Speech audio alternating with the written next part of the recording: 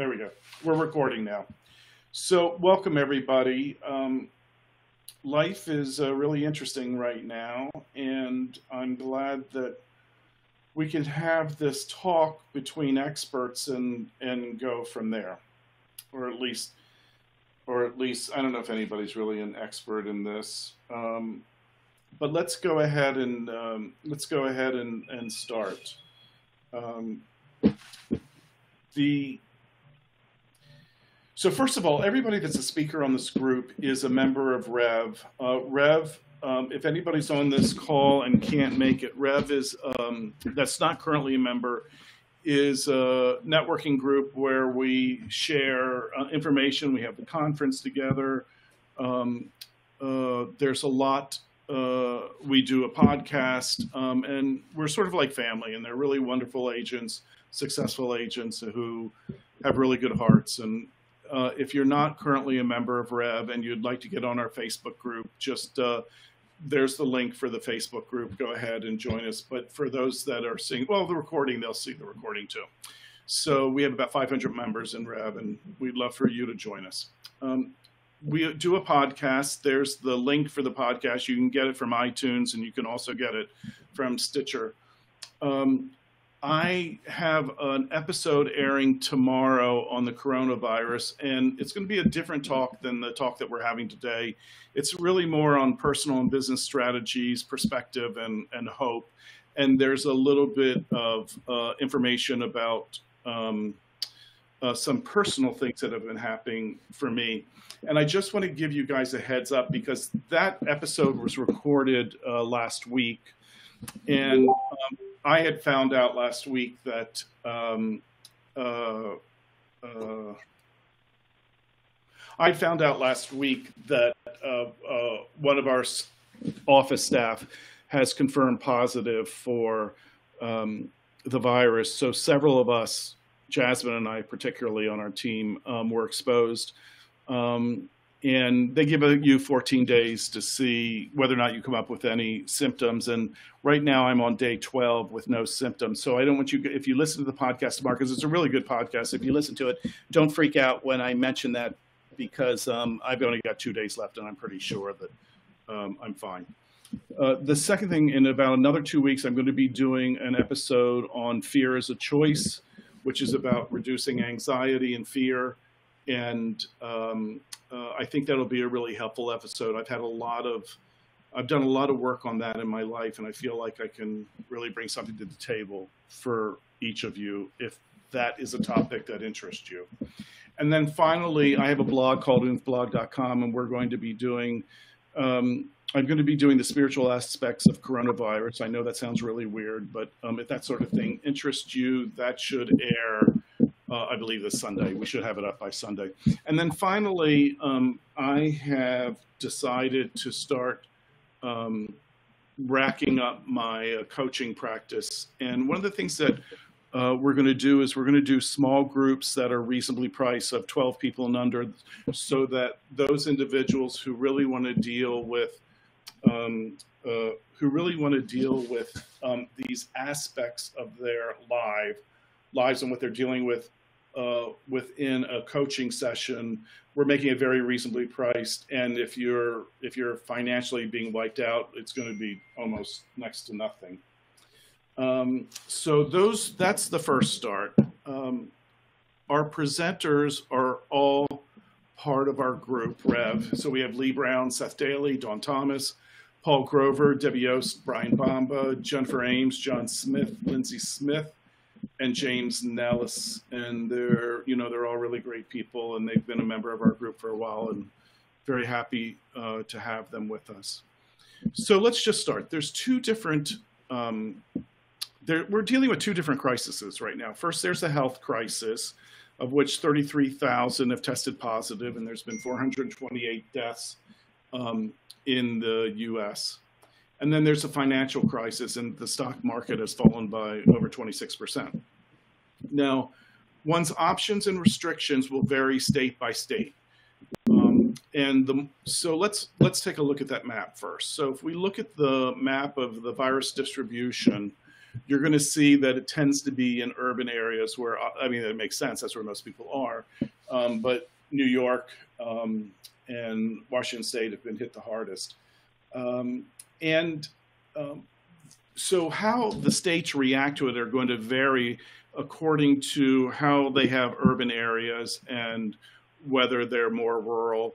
And then there's going to be differences from state to state. So, one example of a difference is in Illinois, um, where Jenny Ames is, the uh, real estate is still considered an essential business, so they don't have to shut down. Um, in New York, real estate has been determined not to be an essential business, and we are not allowed to show properties in New York at all. So, what does that mean? It means, um, for me, it means that I have no income coming in. All of my deals, everything in the pipeline is dead. Um, I um, I have no income, so I need to find income from another source. I've been talking about doing more coaching, so that's a, something that I can do, and that's what I'm going to focus on. My boyfriend has a gym in Connecticut. His gym is non-essential and has been shut down in Connecticut, and you know he's doing at-home training online because that's a way to get some income in because he too has absolutely no income in. So, it's one of the things we're going to be talking about is being conscious of, you know, what do you have to do to get through this, um, and where can you be of service to others. Um, then when we talk about the stock market, uh, you can see how the S&P, Dow Jones, and NASDAQ have all fallen around 26, 28% across the board. And um, you guys, from my perception, we are going to go into a recession. I don't see how there's any way around it. Um, this is going to continue longer than a month. This is not going to be done in a month. I've been able to talk to people from the um, the medical departments at Columbia Hospital, and this is going to last longer. I've also been told from multiple sources that they're not releasing all the information, and I honestly feel that's a good idea because people would start to panic, and um, it's more important that that it's released slowly so that people can come to grips with it. But I'm just letting you know there's less money out there. When there's less money out there, that means real estate prices are going to come down, and we need to prepare for that. So that's my overview. Um, we are now going to go to each one of our presenters and they're going to talk on a specific topic. So when we go to the next topic, Seth, if you could unmute your your phone, your phone, and then let's have you take over. And Seth's going to talk about five stages of grief. Because the first couple speakers, we want to give you an overview, a sort of mental, psychological overview on how to best position yourself uh, during this crisis. Go ahead, Seth. And Patrick, about how long do you want for each topic? Uh, you know, um, uh, let's say uh, five. Three, four to, minutes. Five minutes is good. Okay, great. great. Um, well, I don't, I don't think we'll, we'll take that long. I, I think, guys, as, as we're getting started on this, um, one thing I want to I want to bring a center to is the fact that uh, every person that is listening to this, every person in your life, every person you're related to right now is processing through grief in a really powerful way. And uh, and and every person I met, I, I'm I'm I'm certain we we share this in common. Uh, we're all dysregulated right now, and this is going to at such a primal level, right? When you go into a grocery store and you're like, I don't know if there's enough food for me. That is hitting a part of your brain that you haven't thought of for quite some time. When I when I drive by uh, restaurants, shopping malls, and things are shut down, that's that is completely um, out of out of what I've experienced as a human being. Uh, except that it's it's so primal, like um, it still has the core feeling of we're dealing with grief. And I just want to remind all of us that first off, we're of no good to the world around us until we recenter who we are. And we, you could have this conversation on a business level. We could simply have this conversation on a personal level. You've got to recenter who you are first for you to have an impact for your clients, for the teams that you lead, for those that you are trying to create a calming voice for. And and Patrick, thanks for kind of creating a, a, calming space for, for this group here. So just as a reminder, like what are the five stages of grief? And so we'll list them briefly and then maybe we'll talk through them. It's it's denial, it's anger, it's bargaining, it's depression, and then it's acceptance. And you know, I was interacting with a, a lot of clients uh, online, uh, one client in person, and then you know by text messages and phone calls over the weekend. And I just realized everybody deals with death differently, which is obviously a massive form of grief. And I realized every client is dealing with what's happening here in very different ways. Some of them and some agents are going as optimistic as they can, right? As quickly as they can, they're looking at the bright side of it, and they're kind of pissed off at everybody that is still uh, that is you know dragging dragging them down, so to speak. And other people are, are wanting to grieve longer. All of that is okay. Um, I, I, just I want us to get a, a figure out what the life cycle is that each of our clients is going through, and just help them along that process. In particular, I think you know Patrick, as we talk about a recession, what I am most concerned about happening is people hitting a point of depression and not moving forward in whatever action they need to take. And that action for some might mean take your house off the market, shift to a different tactic. That tactic, that action for others might be if you're going to sell, then we need to do what we need to do to get your property sold right now. And either way, people staying in the world of I just wish it could go back to the way it was is this is this bargaining and denial and just staying stuck in it. The, the faster that we get to acceptance, whatever that looks like, we're going to move through this process faster. And I, I guess if I could give one plea to everybody, it's be really, really gracious with how the world around you needs to react to this. Like, however, the people around you need to process through this, let them do that, including your team members, including your clients, and just keep being the voice of calm in the midst of it. And I'd like to add to what Seth just said in that um, different states are going to have different reactions. So if you're on one of the coasts which has lots of luxury property where the stock market has really hit them hard, their net worths have dropped dramatically. I mean, dramatically for a lot of individuals. So the I, I believe those areas that have luxury properties are going to be hit harder. I don't think um, things in the Midwest are going to be hit as hard when um, their their pricing um, is so much more reasonable and it's not dependent upon the stock market as much. That being said, it will affect all areas of the country, and there's always opportunity. I've during every recession that I've ever been in, I've been able to grow my business because I focus on what I needed to do to um, move my clients ahead which was in their best interest. So, so don't look at a recession as a totally horrible thing. It's not a great thing, but don't look as a horrible thing because there is opportunity. And uh, we'll, we talked about recession, frankly, in the podcast that's up online this week. So, Seth, anything else you want to say? Well, no, just what you just said there reminded me of the the Warren Buffett quote, right? When when people are are greedy, be fearful, or when people are fearful, be greedy. And of course, none of us want to use the word we're being greedy. How about just be proactive in whatever you're doing? And um, and yeah, you're you're absolutely right. Like there is success, there is success and there is life on the other side of this, and we've all got to pass through this journey in our own way. Um, I really want to be conscientious right now of what my clients are feeling and let them process that. I want to be conscientious of what my team is feeling. And don't try and place my feelings on them or the way that I would process through this on them it's it's actually helped them uh, come through this on the other side for themselves. We've all got an individual journey here. Very well said, Seth. Thank you. Uh, Seth, if you could mute your mic and Lindsay, unmute yourself. And Lindsay's going to talk to us about vulnerability perspective and giving ourselves a reality check. Thanks, Patrick. Can you hear me? Yes. Good. Um, I think vulnerability, I mean, I, I can only speak for myself, but I'm feeling extremely vulnerable right now. Um, and I have been for the last week, um, which is not a bad thing because, I mean, I guess there's a couple of points I jotted about uh, uh, relating to vulnerability and, and really kind of exploring that. And one of them is, is really, I guess my first thought is to normalize what we're experiencing. So what we're going through is a like for me personally, I've got a new work environment. I'm working out of my house. I've got a completely new schedule. I'm such a routine oriented person. My routine is completely off the chart. I'm in, into a new routine. Um, and also, I don't know where we're going or where we're going to end. So I trying to normalize those new experiences. And then I guess what I thought about was eh, just embrace the uncertainty because there's a ton of uncertainty out there right now. So embrace the uncertainty and the emotions And I, I find it very, very, um, very valuable to name how I'm feeling, name the emotions, and name the uh, the uncertainty. And Patrick, you covered this so beautifully at the end of our um, our week down in, in Guatemala about naming the, the emotions that you're going through.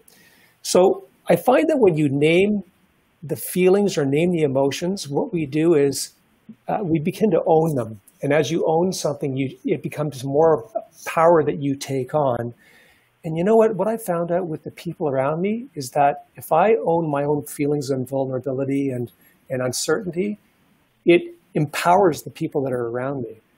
The next thing is, is really put your issues into perspective. I mean, this is not going to last forever. Uh, we don't know how long it's going to last, but it's not going to last forever. Just try to be realistic with your own expectations. And if other people have unrealistic expectations, work with them to try to kind of just help them be a little bit more realistic about where what they're going through. And, and that could get back to just kind of having them embrace how they're feeling. And I guess really one of the other points is just just do some real, reality checking for ourselves. Stay, I, I'm not going to say stay off Facebook, but really get your news from reliable sources. If you're going to take news about what's going on, just make sure that it's reliable sources that you're going to. Because one of the things I found about when uncertainty is introduced into the world, there's a whole bunch of snake oil salesmen that come out of the woodwork that want to pander certainty to you. And that can come up in really nasty ways. Um, that's kind of it. And like the last thing that, that something I just heard Dr. Fred say was social distancing is not an act of fear, it's an act of love. Oh, really? That's a beautiful way of putting that. I really love that. That's mm. really, really beautiful. Lindsay, the other thing I want to bring up is is on vulnerability. You know, vulnerability also resolves around your um, revolves around your uh, beliefs. And if you believe, if you trust that the world is going to take care of you, that the universe or God is ultimately going to take care of you, it makes it allows the feeling of vulnerability to be easier to process if you trust that everything's going to work out in the long run. I totally agree. I think that um, I mean it's that that abundance mentality. Um, so I mean this is so easy right now. If you are feeling so vulnerable about where you are, it's so easy to slip into scarcity. And I think that if you look at the abundance, and I mean, a couple of points that I, have heard over the last 24 hours is whenever things go through a black swan, well, like we're going through right now, there is so much opportunity out there. But if you are uncertain, if you're dealing in scarcity, you miss all of the opportunities. And to be honest with you, the opportunity that exists for you may be just helping out the neighbors on your street if they're they're stressed. So whatever that opportunity is, I really believe that if you deal with a, an abundance mentality, those opportunities will present themselves to you. Um, excellent. Well said. Uh, Jenny, just to let you know, I finally found you, and your mic should be live. And then if you could mute yourself for the time being, that'd be great, Jenny. Um, and you can, if you have trouble figuring it out, Dawn can help you. Uh, let's move on. Thanks, Lindsay. Let's mute you. Debbie, could you unmute yourself? And, you know, boy, Debbie and I have been friends for a long, long time. And she's a, she and I got into coaching together. And one of the things that she's really focused on is leadership. So she's the perfect person to be talking to us about this. So, Deb. Hey, Patrick, thanks. So, you know that I live by this quote success comes to those who get in front of the inevitable. And so, we have an opportunity right now to make some adjustments. The thing I want to remind everybody about, very first and foremost, is that you're a leader. You have to lead yourself first. And then you lead your clients, you lead your family, you lead your team. And if you don't have team that, that are admin people or, or agents working with you, you have a team with lenders, with title company people, with inspectors, with appraisers. You are the leader of other realtors in your community who may not have gone through any sort of a shift like this. And finally, you're a leader for your community. And so I want everybody to embrace that philosophy and see are you showing up with your best? Are you showing up with your best for yourself, first of all? And I'm you know, this is my fourth industry shift. Patrick, we've been friends for a long time. I've been in the business a long time. And as I think back about through all of those different challenges that we've had in the marketplace, there have been good things that come out of every one of them. And so the initial initial reaction is often fear and shutting down and, and going through through grief. Um, I'm happy to say that in every one of those three prior industry shifts, we've found a way to increase our market share, and so can you if you're serving your clients. So for us um, in Central Arizona, our marketplace is different than you're going to find in metros. We're having the busiest month of March that we've had in three years.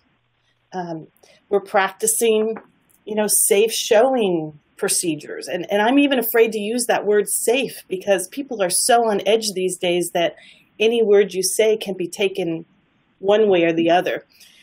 Pretty much across the board, I'm seeing three reactions to this.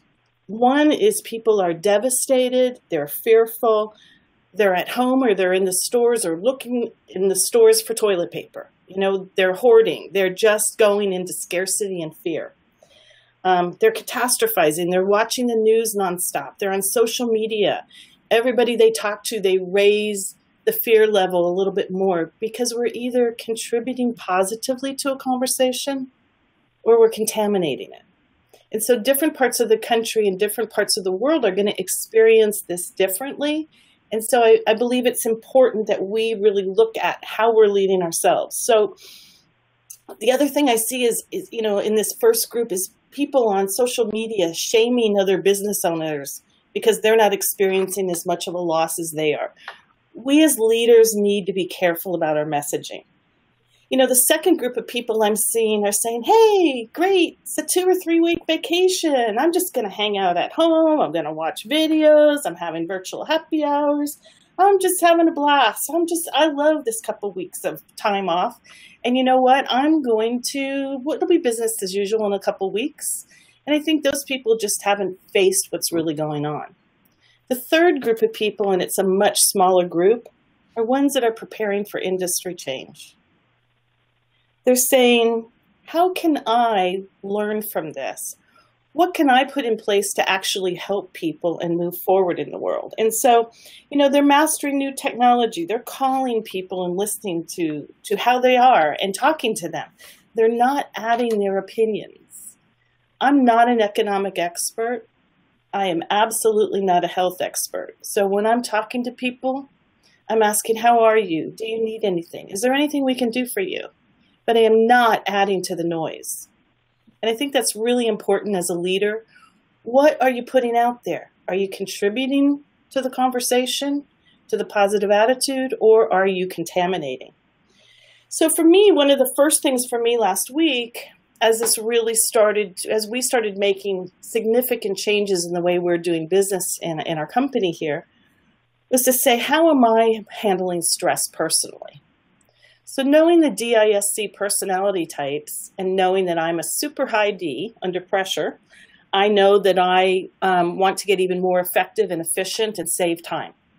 And so for me, I've found that I have been irritated with people that are, you know, group two, that are just having a good time, sending videos, doing this, because they're interfering with my need to get things done and my my wish to get things changed and, and focused for how we're going to move forward with this.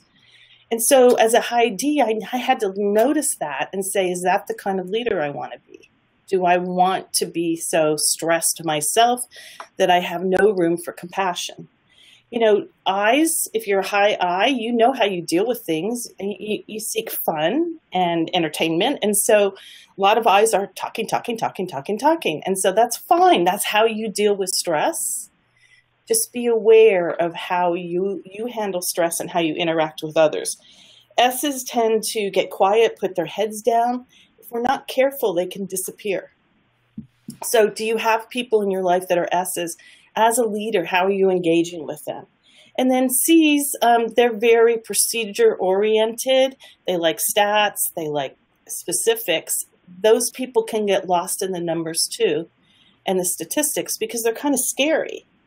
So I have to say, what kind of a leader do you want to be? How are you leading yourself first? And then how are you showing up in the world? Um, I have to say, we're looking for ways to get positive, positive messaging out into our community. I know there's people on Facebook that are organizing restaurants that still have drive through or takeout service. Um, we participated in that sidewalk chalking event um, that message to send out where people can take chalk out and they write positive messages on their sidewalks um, to give a little cheer to people as they're walking around. Um, we're we're promoting a community choice teacher of the year contest right now, um, giving people something positive to focus on. So remember that as a leader, you're sending out your energy to the world and remember that what we focus on expands. So are you focusing on abundance and faith, or are you focusing on fear and scarcity? It's energetic body odor. Even if you're not saying the words, you're putting that energy out there. So check yourself and check what kind of a leader you want to be. Thank oh, you, Patrick. Debbie, I haven't, heard, I haven't heard that one yet. Energetic body odor. That's hysterically funny you know, Debbie just demonstrated a great leadership trait, and that everybody else who has spoken so far has too. Is that if you notice their tone is calm and realistic and upbeat, and they're not bringing more drama to the table. And that's what one of the aspects of a really good leader, in my opinion. So thank you, Debbie. Thank you, Patrick. John, Debbie, if you could mute, please. John, could you unmute? And John Smith is going to talk about some procedure, policy, and contractual changes that we need to consider.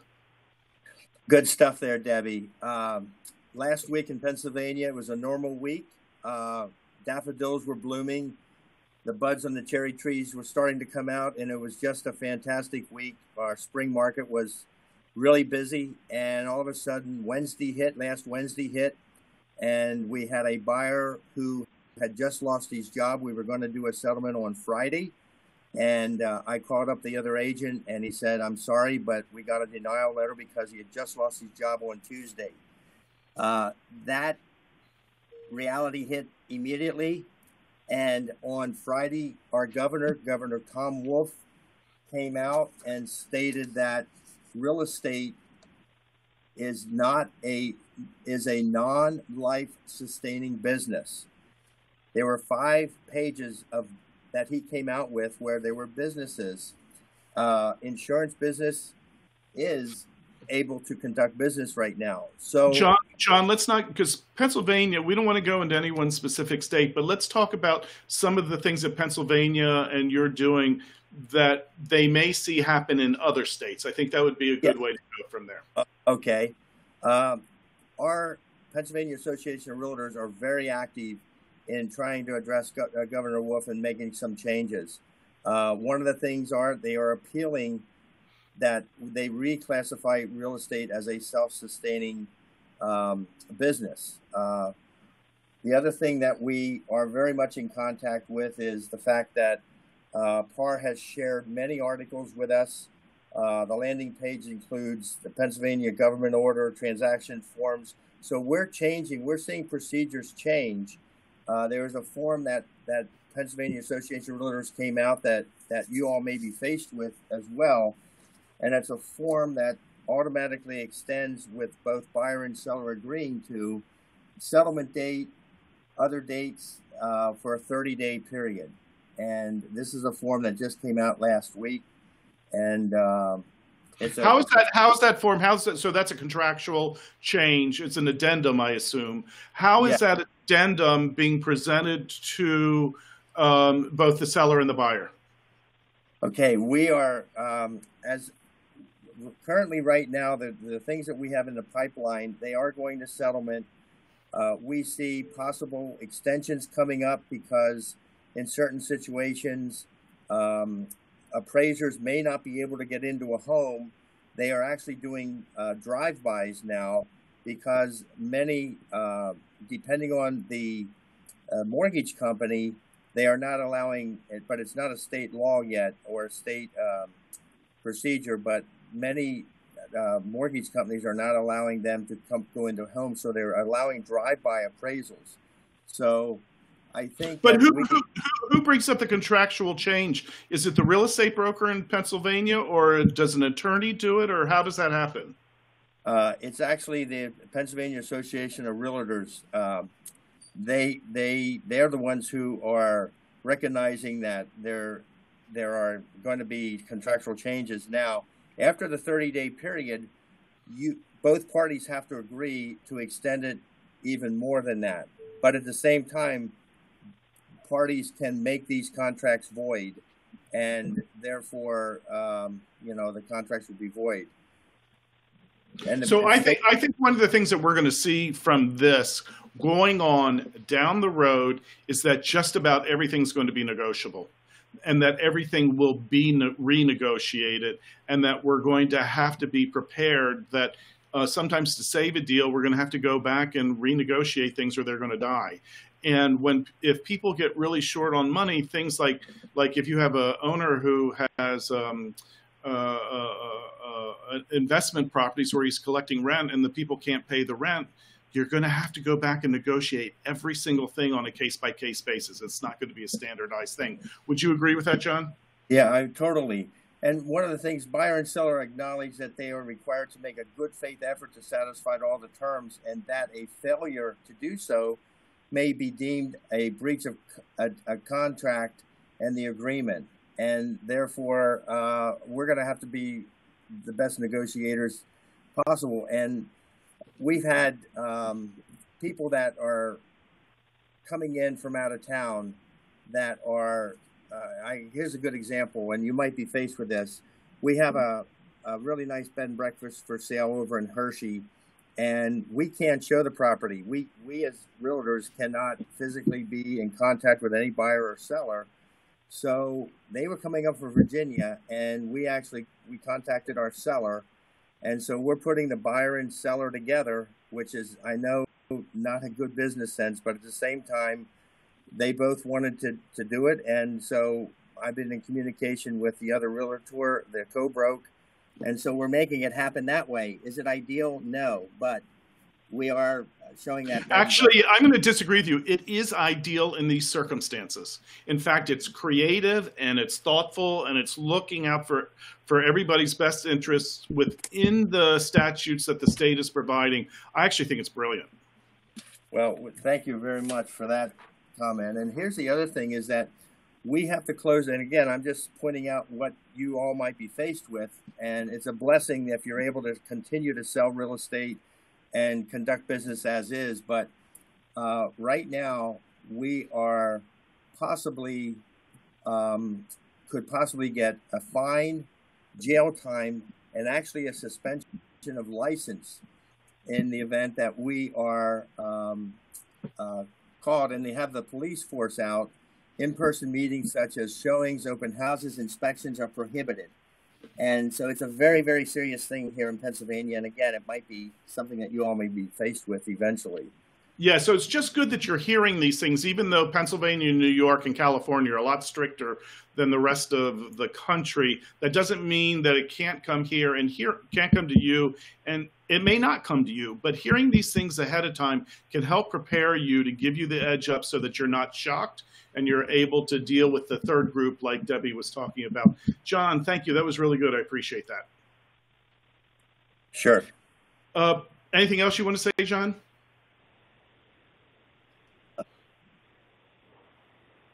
I guess that was no. Okay. Bryan, uh, Bryan, unmute yourself. Talk to us about messaging. Am I being heard? Yes, sir. All right, perfect. Patrick, um, this is the third crisis that I'm going to be going through as part of your group. The first was 9 11. I remember shortly after the Twin Towers fell, we were in a hotel in New York looking out the window at the holes in the ground where they used to be. The second was the financial crisis, which began in 2008, and now this. And while this one is, is unique, um, I'm confident that the information that I learn from this group is not only going to help me get through this process, but help me get through it with the optimal results possible. And it's already begun. Now, one of the things that I've been, um, you know, focused on is the proper messaging to clients. And, you know, the first thing I decided there was going to be no BS. And no BS means, you know, no woohoo sales statements, no celebrations of any kind. But it also, we need to tell clients that the market isn't going to zero. And unless we form and share that conclusion with the clients, they might think it is going to zero. You know, for example, you know, over the course of the past seven days, my team and I have had six transactions. We are not going to have six transactions in the next week. But I shared the six transaction information, you know, with, with the folks who I'm working with right now.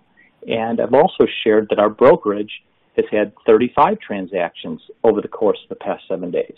And that number, well, it's, it's going to go down, um, is a fact and a conclusion and goes to my expertise.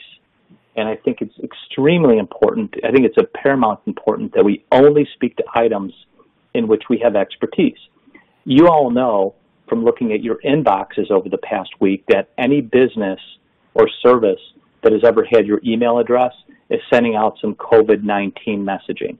And, you know, the majority of them aren't worth reading because A, they're, t- you know, I'm, I'm having a, a, a health club giving me tips on how to wash my hands, which is not their expertise. And it looks like it was written by the public relations department inside their phone. So in addition to the messaging being, you know, expert, it has to be, it has to be authentic as, as well. And it has to, it has to come from you. Um, I think that this is a temporary problem. I am looking at this not as a housing problem, but as a healthcare crisis. And I'm pointing to the fact that in our market specifically, there had been you know, a 14% increase in sales activity year over year before this event occurred. And I think with the new stimulus package that's going to be put in place, that there's going to be significantly greater liquidity in the financing uh, that didn't exist in 2008. That was the number one problem in the solutions toward the 2008 financial crisis. It took too long for the Fed to react and insert liquidity into the market. Bryan, that, Bryan, that's a really good point. Could you go into that into a little more detail, please? Yeah, in fact, it was a case where, um, you know, one of the concerns that the Fed had last time was that they didn't want to provide too much help too fast because they were concerned about citizen A being frustrated that citizen B got help and they didn't. Okay. Secondarily, they took too long before they made these types of decisions. And the Fed has already committed to not making those types of problems this time around. In fact, they've stated that they're going to err on the side of overreacting in a positive way. Um, and and for those and for those reasons, um, you know, I think if we all you know, do what we can do, which is shelter in place, which is the law uh, in Illinois right now, that this could be, you know, a problem of shorter term than many of us are thinking. Excellent. Anything else, Bryan? No. That's good. Listen, I'm going to, before I bring Dawn on, um, Dan Voringer just left a little, uh, under the Q&A, left a, a really nice post. Dan, what I'm going to ask you to do is to on the Rev uh, Facebook group is to go in and repeat what you said there, because what Dan, uh, Dan would like to see is how are other people embracing out of the box ideas to deal with the situation. He would find that to be helpful. That would be a great post. And if you can do that on the Rev Pod, uh, the Rev Facebook group, that would be great, Dan. All right, Bryan, thank you so much. Dawn, will you uh, unmute? Hi, hello everybody. Dawn Thomas here. Um, so I live in California, which is the state that basically came out of the gates with the strictest policies possible first. So we've been sheltering in place for a long time. However, the good news is, is we're still, you know, doing deals. Uh, properties that were already active are still going into contract. We're going to probably see a pretty sharp decline though in April close sales, but uh, for instance, the week of um, March 9th through uh, uh, the 15th to the 16th through just yesterday, we saw 39% decline in new active listings. Um, and I think what everybody's doing in, in our area, at least in Silicon Valley, from what I can see on our top agent network kind of po, you know uh, forums, is that people are waiting until for you know April seventh, literally probably at noon, is when our mandate is over um, in our state. But nonetheless, I'm here to talk to you guys about sphere of influence and social media. Um, so I'm a Tony Robbins buff. I've been in Platinum Partners. Seth Dailey is part of that as well, as well as some other people in our Rev group. And the other day, um, truthfully, I did it because I really needed it, but I posted it, uh, a post that said, tell me something positive that is going on for you right now. And it wasn't tell me something that's happening to you right now because Tony Robbins teaches that life happens for you, not to you. And I'm still getting people responding to that. I mean, right now, there's been over 250 people that have commented. People have sent me messages privately saying, thank you so much for being a bright light and being, you know, really positive attitude. Um, and I, I, you know, that's, that's what I've been trying to do. Some other people have, have already said, you know, your messaging and being a leader out there and, and just being a voice of positivity and calmness in the face of what you know is could be said as panic in the country is super duper important here.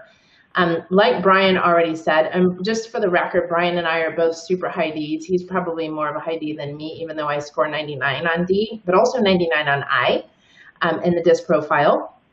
Um, I have been unsubscribing right and left. If I see COVID 19 in the subject line, I unsubscribe immediately because it's making me nuts. So what we've done in terms of marketing for our database, you know, obviously there's various different types of marketing.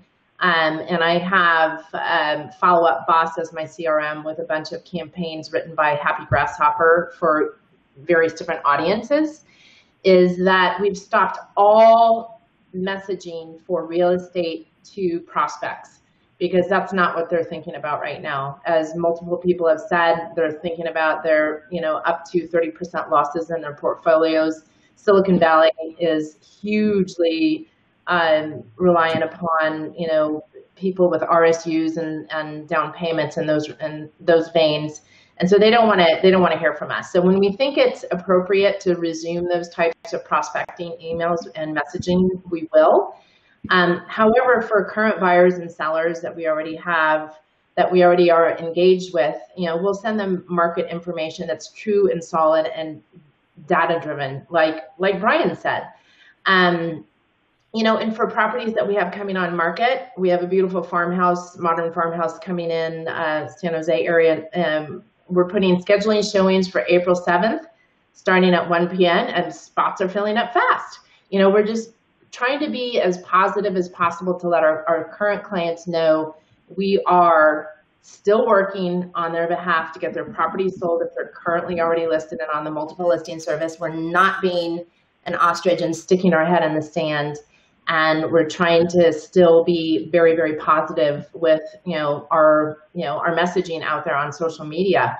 Um, you know, the whole thing with sphere of influence is um, right now more than ever, you know, if you talk about again something that we've learned from Tony Robbins, the six human uh, needs are love and connection is number one, significance, certainty, uncertainty, growth, and um, basically philanthropy. You know, how we contribute. And and right now, love and connection is what everybody needs out there. And I would strongly encourage you, if you have not been picking up the phone, please do so um, and just reach out. You never know when you're going to make a difference in somebody's life right now. And reach out not for a sales call, reach out for a connection call, correct? Correct. Yeah. Yeah. No, real estate, hey, I don't even bring it up. I'll just say, you know, we're all going through a tough time right now, and I'm trying to reach out to let you know I'm thinking of you. And if there's something that I can help you with, you know, if it's just to listen, um, you know, whatever the case may be, I want to, I want to know. I'm, I've been doing this, guys, to even colleagues that are actual uh, competitors of mine in my in my own marketplace because I know that they're having a hard time. It could be a single mom with three kids that you know that who knows what's going to happen to her financially. I, I just don't want to see anybody left behind. Is my thing. I really am trying to make a difference from a positive perspective in as many people's lives as I can right now. Um, and you know, and to me, that's what matters. One of the things you said, Dawn, that I really liked was suppose you're bringing, and you said, you know, about scheduling an open house for um, April the 7th. You know, if you have some sellers that, that especially in your states like Illinois, New York, um, or Pennsylvania, and you're you want to bring a well, maybe not Illinois, but you want to bring a property on, maybe send it out coming to the market soon. Um, you can start making appointments now for then, and then if the if the non-essential ban hasn't been lifted in your state by then, then you can just reschedule it. But it's a way to sort of build up interest. I really like that. I really like that, Dawn. Thank you very much. Sure. Um, Paul, will you unmute yourself, please? And Paul um, uh, is going to talk about working with sellers. Patrick, nice to see hey, you. Nice to nice to see me. I can't see you, but I can see your name. That's about it. Hey, Paul. Good to be here. I'm calling in from Massachusetts, and um, this has been great to hear everybody so far. So thank you. Um, one thing I want to, to talk about is to make sure that we all remember that this will pass and business does go on and people always need to buy and always need to sell and always remember the work that we do. And Patrick, you and I have talked about this. The work that we do, it really is noble work. And I think probably most people who are listening would agree with that because we've been in the business, so many of us, for a long time. But what we do and what we contribute and how we help people in really major turning points in their lives. So if we can be there for our sellers right now, it's it's almost doing the same thing that we always should be doing. We should be in touch with them. We should be a trusted advisor to them. We should be handholding and listening to them. Um, I think that in, in some cases that the sellers are actually going to be surprised if we reach out individually to sellers. And I agree with what everybody has been said. I don't. I don't think this is the time to be doing mass mailings and and and um, promoting real estate. But if we reach out to them as individuals and talk to them and hear what they're thinking, um, then then we are doing our job. And I think that in some cases they'll be surprised to be hearing from us because they think, in many cases, they think, well, nothing's going on at all in real estate. So to hear from the real estate broker is meaningful. Um, Absolutely. How about price reductions? Well, you know, um, next to selling a house, getting a price reduction has always been one of my um, favorite things to do in real estate because I really believe priced properly, I can sell anything. And if it's overpriced, then I can't. So um, I'll be the first to admit that I regularly have a supply of overpriced listings. So if I can use this as an opportunity to help a seller help themselves by reducing the price, then that will be my goal. I think that um, I think that real estate prices are going to come down. I don't know how much they're going to come down, but I think they're going to come down. And what I've last learned from previous crisis periods, I've seen people over and over, sellers drop a price and then have to drop it again and then again. And it was always too little, too late. And so if I can convince a seller that this is the time to make a meaningful price change and to do it quickly, because I think we're in this for a while. And if the buyer pool has diminished, and if, and if, and if a buyer is looking at 10 listings in a certain price range in my market area, I think there's a good chance that the one that goes is going to be the one that's the best value. Yeah, you know, Paul, I when uh, we had that thing in 2008, 2009, but 2008 when the I forget it was it was Lehman Brothers or Goldman Sachs, I forget which. Um, when that happened, that happened in August. By October, it was really dead in New York in terms of sales. And I went out to all my my uh, sellers, and we we decided that about 90% of my listings we were going to lower them by 12.5%. Now I just picked that number out of the air um, but it seemed it's on a gut level, it seemed like a good idea. 90% of my listings bought into that. And they all sold within that month of October. I did like seven deals, and at my price point, that's a lot of deals in, in October. But the point is, is by the time the market had fully fallen by January, prices had come down 23%. So if this is a scenario where this is going to happen, if you take advantage early and talk and talk to your clients about that, you might be doing them a huge favor. I think so, and time will tell. But I think you will look back, they will look back and say, wow, how fortunate were we that you advised us to make this adjustment now instead of waiting. Anything else with sellers, Paul? Um, you know, I think in terms of real connection with them, I think now I, I reached out to a seller this morning, a seller who had given me a, a book at Christmas and the Second Mountain, and I've been reading it. And so I reached out to her first thing this morning and said, just just in reading your book, and I'm thinking of you, and just you know, just to connect person to person, because as we said er- early on, what what our business is about. It's about people. It's about relationships. It's about connection. So um, I think that's I think that's planting the, the, seeds or laying the groundwork for future business. But it's it's really genuine. It's from the heart, just caring about people and reaching out to them. Thanks, my friend. James Nellis. James is going to talk to us about working with buyers and showing procedures. Patrick, how you doing, buddy? Good, good, good, good. Long time no talk. It must be at least an hour. I love it, and I, I love you talked about listings before buyers, and you were talking about the relationships. I think it's interesting in, in my experience over 25 years. I think it's easier to have a deeper relationship with the buyer because you're with them consistently. They're in your car, they're following you, or whatever. And so you asked me to kind of share about if you can, what does it mean to quote unquote safely show and things like that. So let's talk about interaction with the buyers. I think it's easier for a seller to say, yeah, virtual makes a lot of sense. Let's do it. Than to a buyer that says, hey, buy this for a million dollars. You're never going to see it, right? There's a, it's a little bit easier for the sellers to take it on. Uh, a couple things to think through. I'll go through kind of the basics and then circle back. Showings. All of our agents, when they go out to show, and they've been doing this since it first emerged, have gloves, sanitizers, booties that they change out and don't keep with them, uh, and sanitizers for their phones. You know, that's the challenge, Patrick. A lot of times you're doing virtual showings for your clients and you're touching your phone, you're touching other surfaces, and now it's on your phone. Uh, I'll post it on the Rev. There was a very good portrayal of uh, the virus being like glitter on a doorknob and where does it go. Uh, I'll, I'll share that rather than taking the time for it.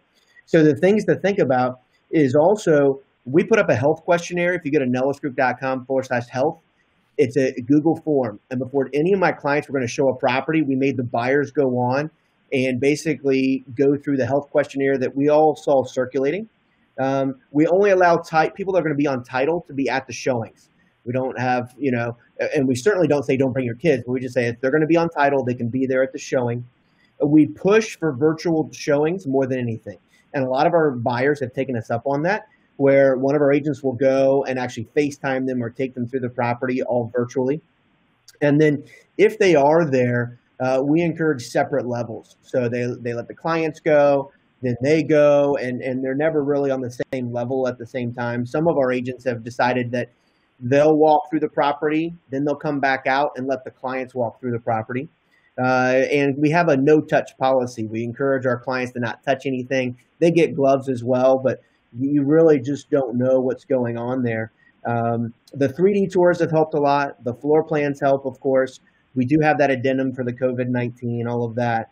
Um, that's just the simplicity of showings in today's world, Patrick. And I know in some states you can't even show. So that's that's a whole other dynamic. But if you're listening to this and you're a state that can show, my encouragement is just to be OCD about everything just understand that you're there to protect yourself and them. You know, one of the questions I had for my own executive team, Patrick, was when do I push, they're independent contractors, but when do I push for my agents to not show anymore?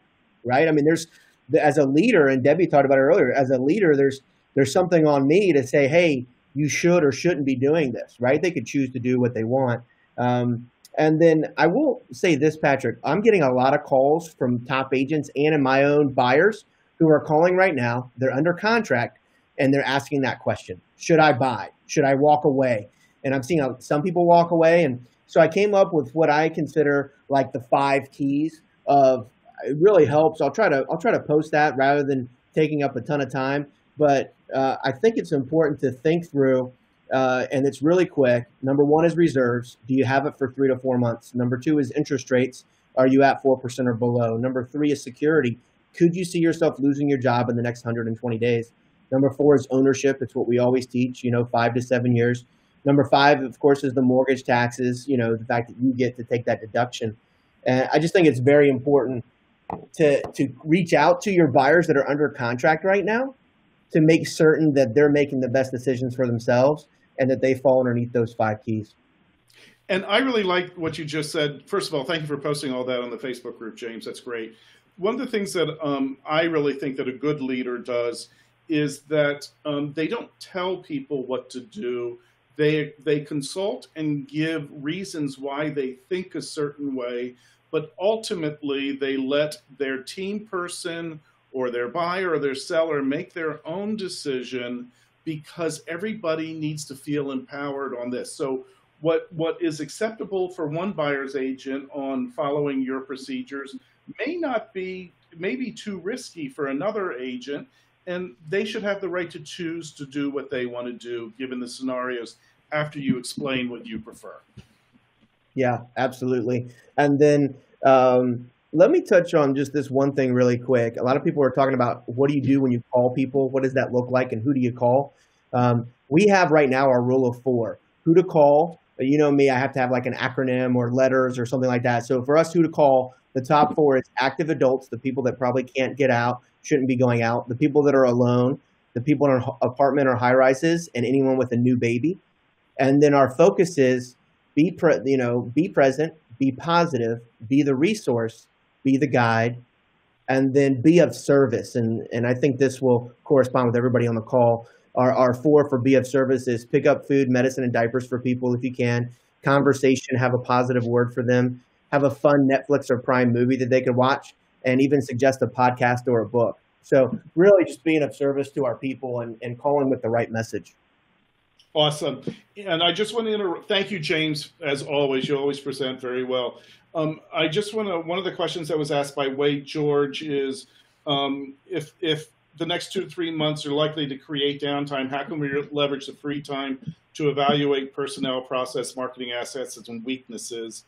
I think that's a brilliant, brilliant question. And Wade, I would like you to, if you're not, I don't, I think you're in our Facebook group. If not, just go into it. Uh, I'll sign you up. And would you, Wade, would you please post that? and um, because I think that's a really good conversation to people to have within the Facebook group. But I really like that question a lot. Thanks, James. Jennifer, do you want to unmute yourself? Hey, my love. Yes, Hi, darling. How are you? I'm good. So Jenny's in uh, in Chicago, and um, you, I'd like you to talk. You know, there's specific concerns for co-ops and condos, which are different from showing just a house, and any other sure. things and you know, like there's like uh, HOAs and that sort of thing. So, what are your thoughts, Jenny? So, so first of all, I just want to clarify that our governor did issue a stay-in-place order last Friday. It was effective Saturday, and it runs for a little over two weeks. And unlike some of the states, our stay-in-place order does acknowledge that real estate is an essential service, and it and it allows movers, appraisers, inspections, and things. So one of the concerns that a lot of people have, of course, is that if you've got a home under contract and they live in a condo building or a co-op, you know, would they be able to move out and vacate in order to close on time? Our banks and our title companies are open for business. They don't, they've, they've modified it. The title companies don't let the agents in. They're, you know, it's only essential people. And so they're trying to minimize contact. There's you know, mailing out the checks and the RESPAs. But the bottom line is that the governor was really thoughtful in carving out a provision that allows us to continue to do our jobs. Having said that, we have run into a situation where many of the buildings, the high-rise buildings, condos and co-ops, and I and I assume it's probably the case with rental buildings as well, have said visitors under any circumstances are allowed in the buildings, only residents. And so we've, in the last week or so, we've had agents in our company go to do showings and basically been turned away at the door. In some cases, our clients are not even notified.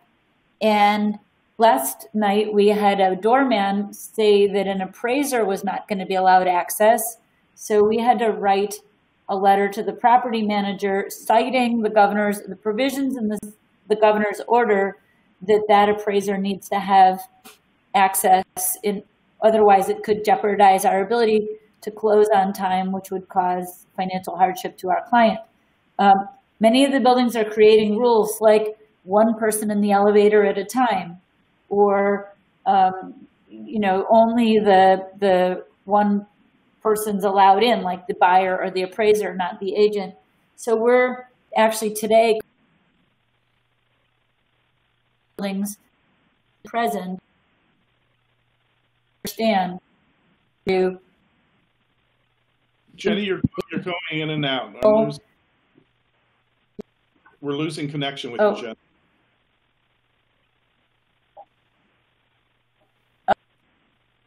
In the microphone it might be the internet here Okay, that's better. I hear uh, you.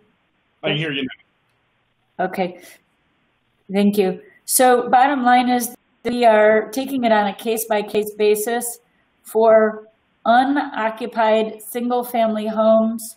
We are still doing, you know, and it's a case by case basis with the agents. We have some people who absolutely are not leaving their house and we have others who said I want to, you know, continue to try and make a living and they are doing showings. Definitely no open houses.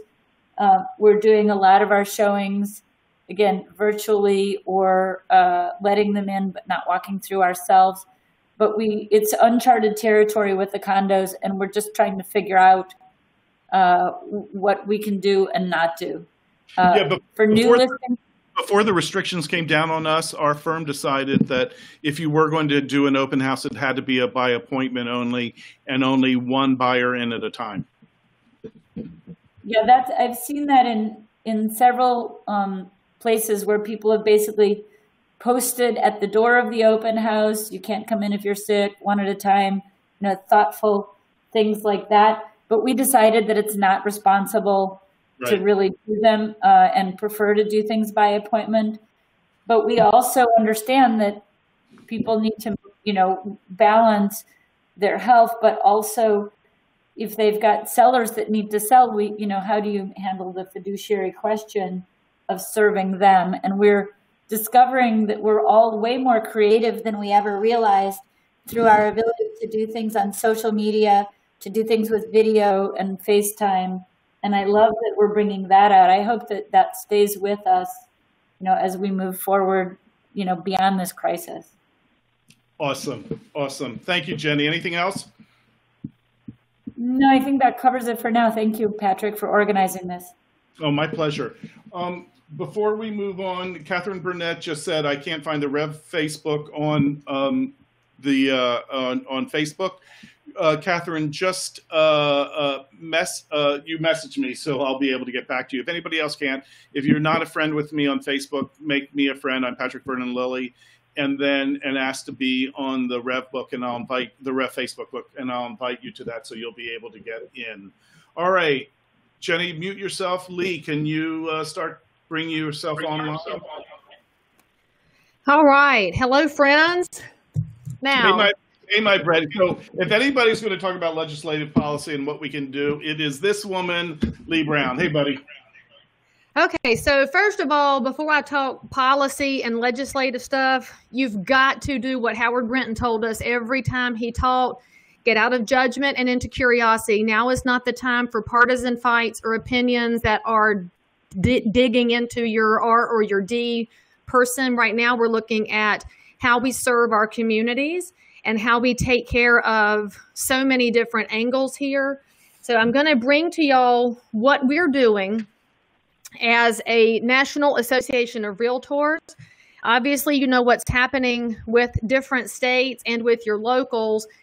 Y'all, there has never been a more visible explanation for us of why our associations exist and why our political advocacy efforts matter because the amount of work that our lobbyists are accomplishing on all levels of government right now is unprecedented and without the work that they're doing you wouldn't even see these what we consider small carve outs for essential services on real estate.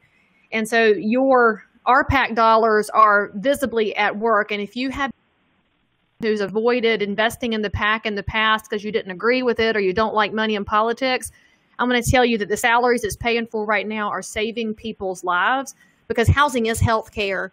And I will tell y'all that the comments have been made earlier about the levels of depression that are coming, and we're going to see a, a lot of issues arise. But there's data for decades showing that people who have a safe and secure place to live of some sort they are more likely to be healthy, stable in their jobs, stable children, stable futures. We know that's how important housing is and all of its different efforts. And so I implore you to please be involved more than you've ever been involved because the work is critical.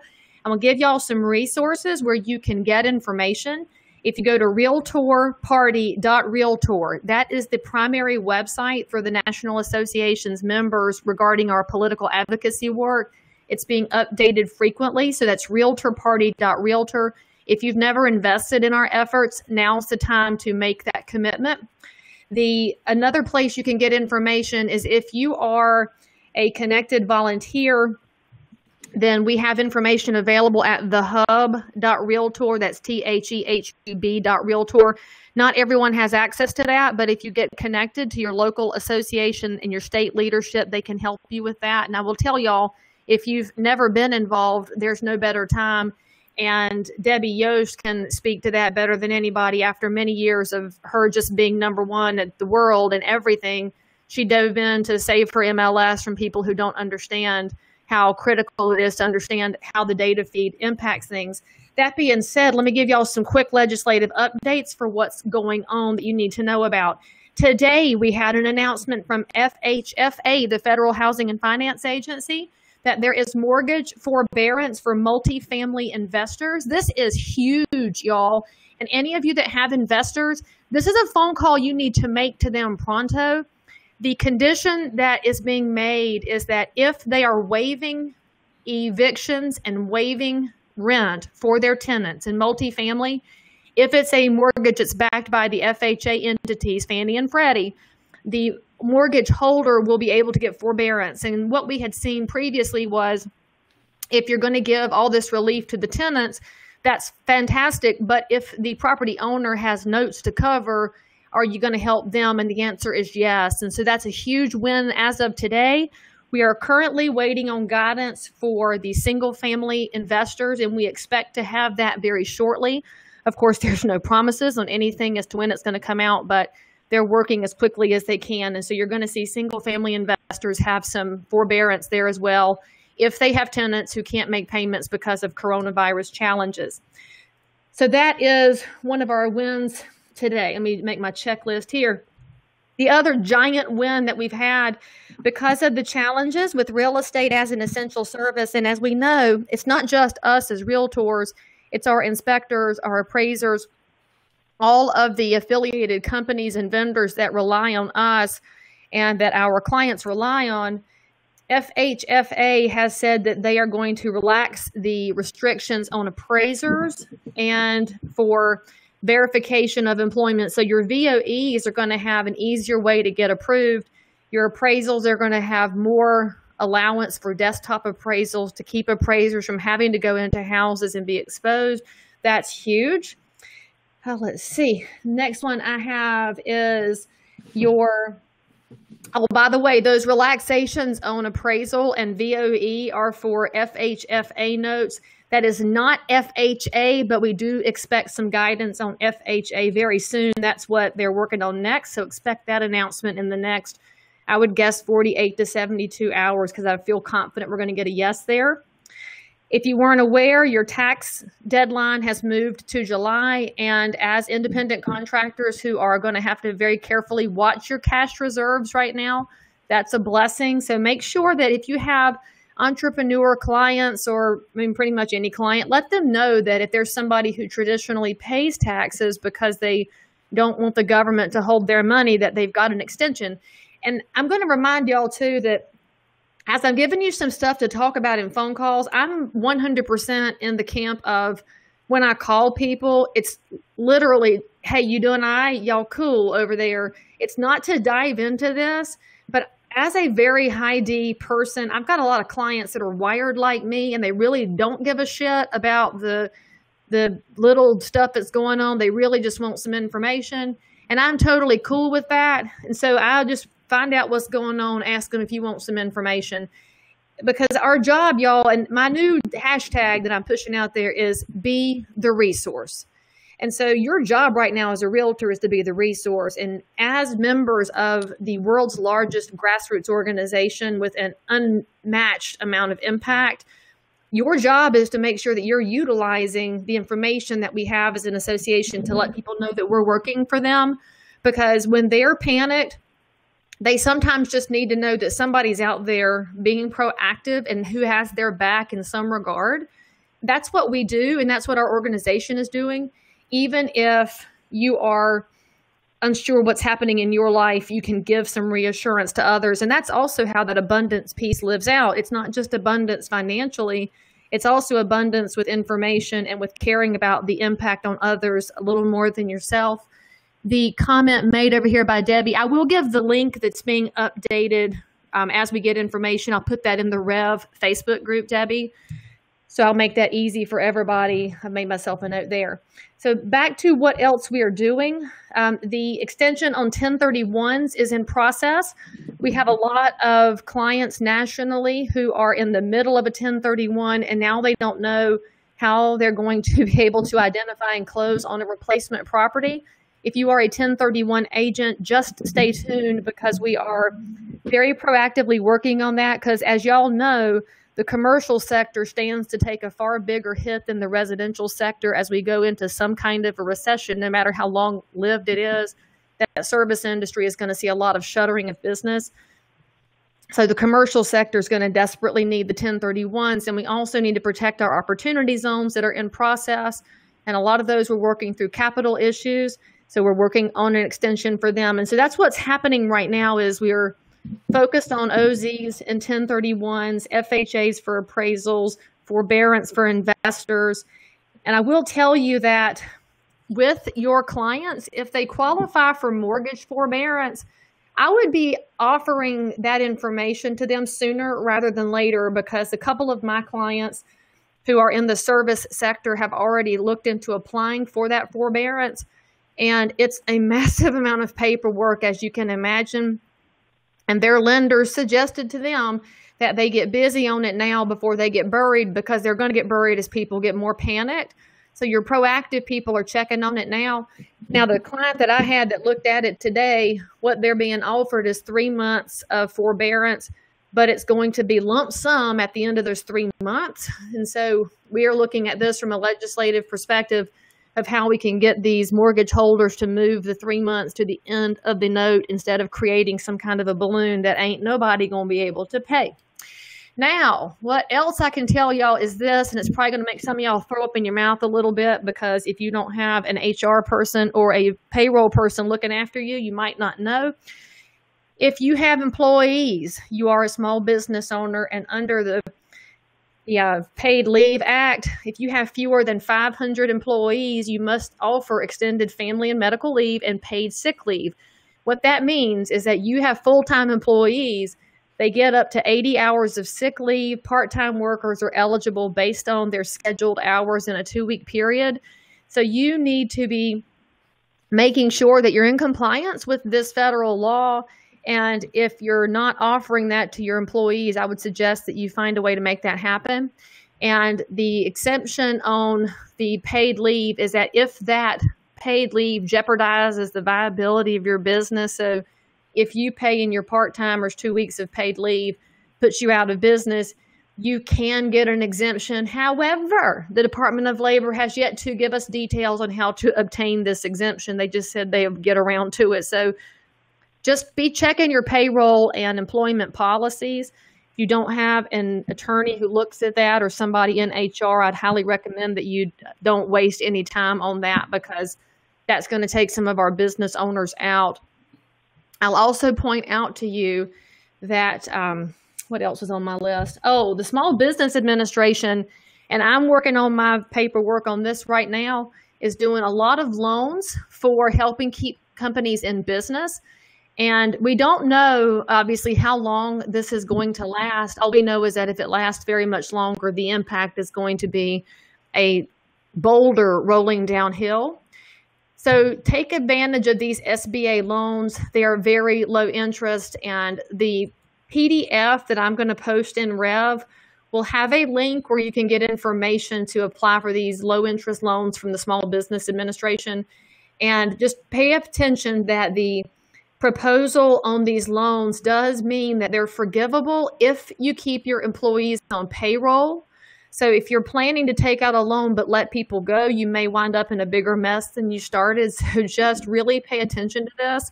I know that I make I'm meeting with my team regularly by Zoom because obviously everybody is working from home. We have decided as a team to shelter in place sooner rather than later and just be smart about things.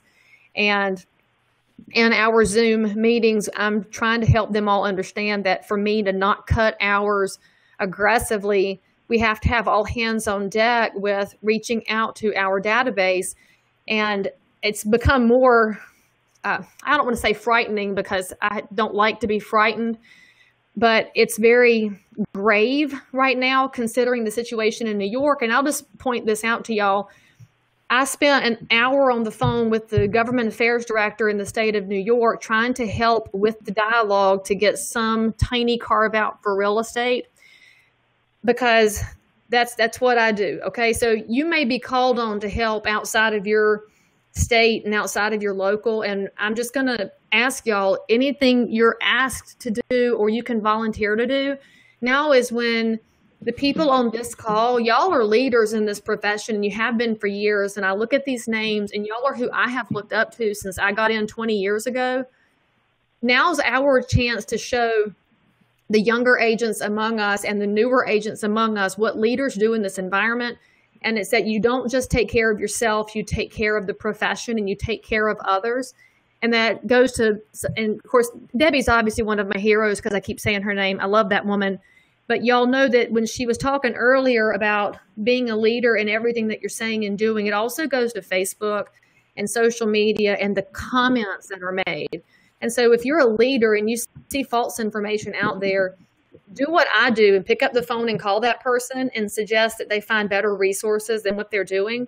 And it's a big waste of time, I think, with these people who bitch about NAR and who want the association to put the clamp down on open houses nationwide because y'all, you have to understand that a trade association can't do that. We can't restrict trade because the minute we try to restrict trade, we're going to wind up dead in the water with the DOJ. And so we're looking at this from different angles and perspectives than people on the ground do. So just be the calm, cool, and collected leader who's got facts, information, and data and who's willing to listen. Because one of the things that's really critical right now is that those of us in this space, we're probably okay financially for a little bit of time. The bulk of our members in realtor world are not. They were counting on a closing next week to pay their mortgage, to pay their rent, to eat.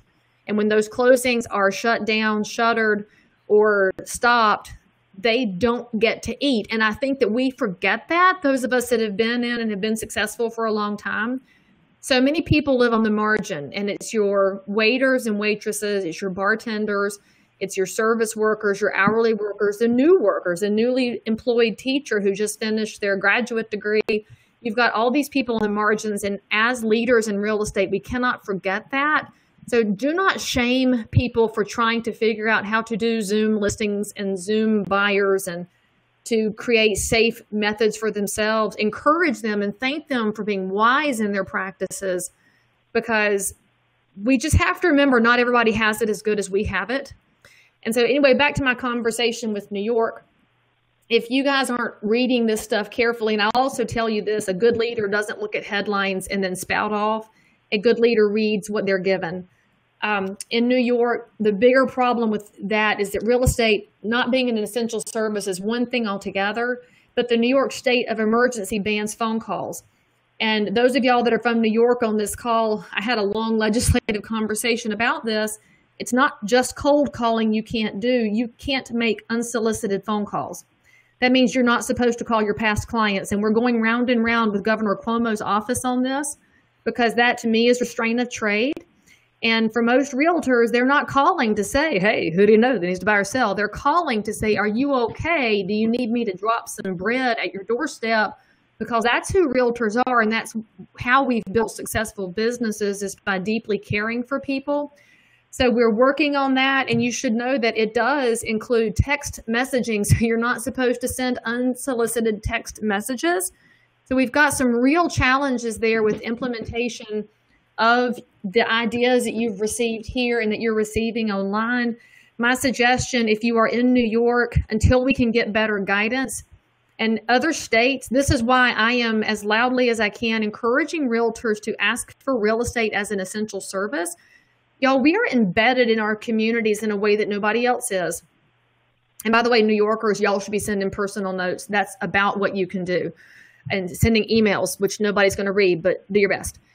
So, with the rest of us, you need to contact your local elected officials. If your county and your city are still open for business, you need to send very kind and pointed emails asking them to allow the clerks to register and record deeds, that you pledge to abide by all safe practices of distance and sanitation and staying out of the close proximity to other people what we're looking for when we talk about real estate as an essential service, y'all, as the association and as volunteers, we're not fighting over people being able to go show and write new contracts. We're not fighting over new listings. Our biggest issue right now is the people who I I'm in Charlotte, okay, and it's Monday. There's a closing that was supposed to happen Wednesday, which is not happening now because the buyer owns a nail salon. We're under forced closure of nail salons as of Wednesday. The lender pulled the loan because that person will have no income. And that's what we're talking about with real estate as essential services. That person is a clear indicator that you've got to you got to start figuring out how we we keep some kind of balance here in the way that we manage a pandemic. But that person is completely scared out of their mind because they don't have anywhere to go. And so, as real estate essential services, we're looking here into mainly how do we protect transactions in process so that people don't become homeless and that we can we can help facilitate what we've been asked to do. And I, I'll emphasize this again. When we ask for real estate as essential services, we are not wanting realtors to have public opens. I do think public opens should stop for the foreseeable future. We're not talking about showing to a stranger. I love Nellis's comment about only having people on title in there and restricting that as much as possible. But just you've got to write these letters, y'all. Tell your county commission, tell your city leaders, please keep it open because we don't want to stop these ones that are in process. And we pledge as realtors to behave as much as we can. Also, understand too, as we're talking about all these things, this is realtor work. And there are a lot of real estate licensees rolling around the country under nobody's guise, and nobody's able to rein them in at all. And so we have to be super duper leaders right now to say there absolutely is a difference in realtors and licensees because we are at the forefront of protecting our communities. And when I talk about our communities, I got to give y'all, I know I've gone over my time here, but hopefully you're, you're, you're grasping where I'm going here in your states, by the way, ask your states for essential uh, for real estate as a carve out. Title is very important and recordation is very important. Just help them understand that this is people's lives on moving trucks. And frankly, if you take somebody who's supposed to move on Wednesday off their truck and stick them in a hotel, they're in far worse risk there than if they were allowed to get into the vacant house where the sellers have already moved. Um, but I totally lost my train of thought there because I That's get okay. very no, heated up good. about this. Leigh, this was real. This was incredibly great information. That's why I let you go over on time. Um, uh, what I would love for you to do is we're going to go now to we're going to poll each each panel member. By the way, if you added a Q and A question, there's some really good ones from statements from Ann and Brad Korn and um, my suggestion is is to instead we're not going to have time to answer them today. Is to go on the Rev Facebook group, post what you just posted here because I thought that was some really good statements, Ann and Brad. Um, let's Leigh, we're going to pull the panel now. So um, just give a quick, one quick tip. It could be working from a home tip, something for self improvement for your personal life, or one fun creative service action that you might do. Um, I'll start. I'll go to do it first. So, like a really fun thing to do would be a Zoom call with my friends and do a Soul Train dance contest one night when I can't see them all, and we can all just dance to uh, some fun R&B from the 70s. That's my idea. Leigh, what's yours? Please don't invite me to that. Um, so the, the, thing, the thing that I'm doing, which is I, I'm struggling right now, and I will tell y'all, I'm out of Zoloft, and I am known as a very positive person, and this is weighing on me because I feel the weight of 1.4 million realtors on my shoulders, which is what you do when you start focusing on the volunteer life. To fight that in myself, I am posting a daily kids joke. It's the jokes that I've put in my kids' lunch boxes, and I'm trying to be a positive person. And I'll tell you, I'm getting some really good feedback on that, thanking me for being a one uplifting moment in the day that's full of nasty and negative stuff. And I've had a few people reach out and tell me to stop being positive because they're they're worried right now. So I'm ignoring the haters and I'm focusing on the positive because I do that to lift me up as much as my my clients and my sphere. So my suggestion is to be out of your comfort zone in something on video that people can see and laugh with and keep their lives moving because as has been said by everybody, the other side is coming. Absolutely. Thank you, Leigh. Uh, Paul Grover, one tip. Patrick, I'll give you two. Um, we've been doing a lot of Zoom calls with the company, and so it inspired me to do set up a Zoom call with my family, who um, literally all over the world, and um, it just felt like like an aha moment in terms of being uh, connected or reconnected. The other thing is my mom's living in a uh, retirement home, and it's been on lockdown for a while. Fortunately, she's on the first floor, so I can go to the window. And what I what I've learned is there are many people there who are sitting in windows who don't have anybody so anybody that can do even something like that and go there, it's amazing the smiles that you get from these people who are now literally, it's it's like they're in jail there. So it's um to go there and see them smile is really um it makes you feel good. Awesome, Debbie Yost. Unmuted. Okay, if you're working from home, as most of us probably are, get up and get dressed in the morning, take a shower and get dressed. Do not just sit there in your PJs because you can get lost in just focusing on your computer. Get up and get outside your house once a day. You can walk around your block, just get outside and do something different. Don't become a hermit at home in front of your computer. Awesome. James Nellis. Yeah, I like that you said that right after Debbie because I definitely have my Teenage Mutant Ninja Turtle pajamas on right now, and it's fantastic. Um, I would say, you know, two things. One, actually, one of my clients posted it. Make sure you drink a lot of water. Um, with everything that's going on, a lot of people are like, "Why am I getting a headache?" Well, you're probably not drinking enough water, and with the depression and everything we already mentioned, so drink a ton of water. The good news is you're always near a bathroom, so there's no excuse. and then, secondly, uh, we talked about being present. And I feel, you know, I'm a person of faith, and I feel like God calls people to my mind from time to time. since you're not stacked appointment to appointment to appointment, whoever God puts on your mind or in your heart, make sure you call them. Make sure you reach out to them. Well said. Bryan Bomba. Um, in order to make yourself feel as close to being 10 feet tall and bulletproof as possible, you have to do two workouts a day. Um, I've been jumping on my Peloton at home. Peloton is offering free 90 day classes online for anyone who wants them. There are, there are yoga classes, there are, you know, body weight exercises you can do at home. So I do one of those in the morning and then midday about one o'clock, I'll take a walk with my wife. And those two things have helped clear my head and help me feel as energized as I can possibly feel under these conditions. Awesome. Jennifer Ames. So, um, Facebook a quote that said, uh, "If you've ever wondered what stay-at-home moms do, you know, now you get it." All of us are suddenly discovering what it's with kids, and it's an interesting challenge. So I think there's a few things that I focus on Um, one is working with calling suddenly home. And, and talk about you know first of all check in with them but but share with them ideas scavenger hunt ideas things to do at home you know suggestions. One of the things we did as a family which is cool is that we created a family facebook page out of necessity as three little boys under five. And all the other family members have been going on a private facebook page and reading stories and videos and leading yoga and stuff. But think about different ways to, to reach out, maybe a little bit trapped at home with relief or entertainment. Excellent. Thanks, Jennifer. Uh, Lindsay Smith.